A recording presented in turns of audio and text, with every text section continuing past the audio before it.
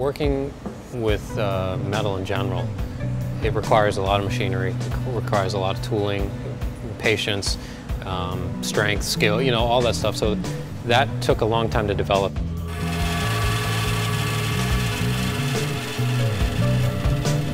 Hi, I'm Matt Devine. I'm an artist sculptor here in San Diego.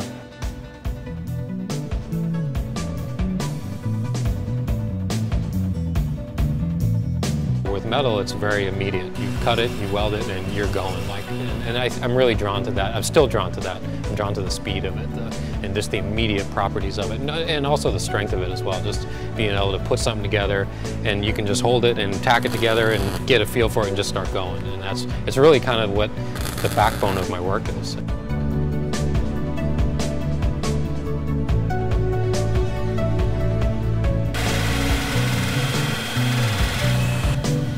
Started uh, basically in fabrication shops uh, when I was younger, working with in wood shops, and uh, I was working in the theater. Worked actually actually at La Jolla Playhouse. That's where they.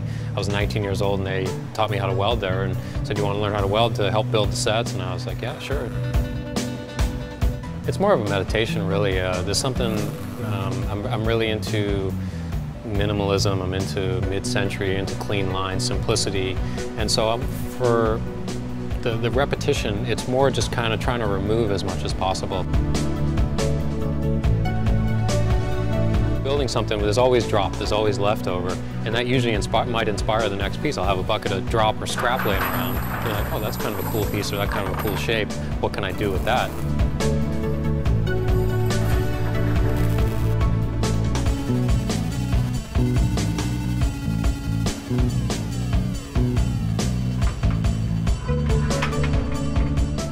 It's still a daily grind. There's no doubt about it. And getting to this point, it hasn't been an easy road. And um, you know, it, it's as as as I get busier and as the work progresses, it's it continues to post to the, to post challenges and timelines and deadlines, and people want more stuff and bigger stuff and. And it's, it's all great, this is all great, and as an artist, this is exactly what you want to be, and I'm so thankful for that, but it's, it's definitely a double-edged sword.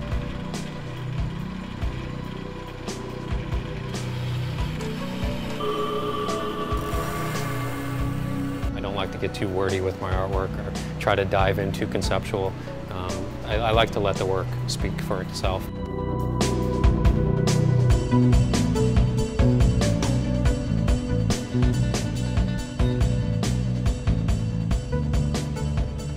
I feel like every piece is about 95% what I'm trying to do. So I feel like there's always that 5% there of not quite exactly what I'm looking for. And there's, there's always that element of surprise, which is really cool too. I really, I really enjoy the element of surprise and take it leading down that path. But I do feel like there's always just that little bit like, oh, I wish I would have done this a little different, or I wish I would have done this a little better. And, and that what pushes you to the next piece.